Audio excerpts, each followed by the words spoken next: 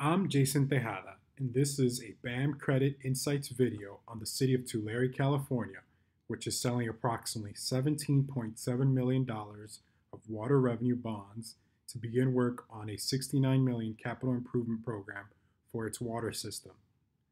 The bonds will be rated AA with a stable outlook by S&P Global Ratings due to Build America Mutual's guarantee and carry an underlying rating of A+, also from S&P. The bonds are secured by a senior lien on the net revenues of the city's Water Enterprise Fund. BAM's credit analysis focus on the system's operating metrics and outlook.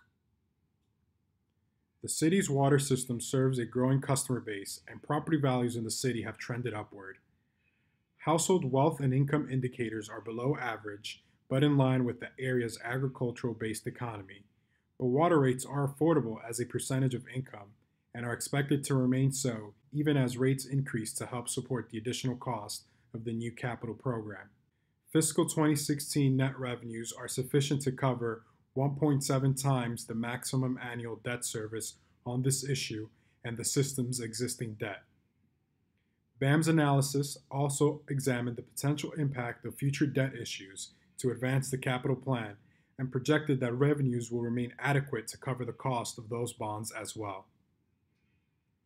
Ultimately, BAM's credit committee voted unanimously to insure the City of Tulare's water revenue bonds due to the system's stable and growing customer base and debt service costs that will remain manageable even as the system ramps up its capital plan.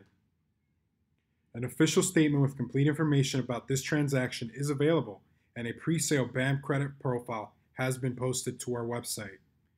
For more information about BAM or our analysis of this credit, please email us at creditinsights at buildamerica.com.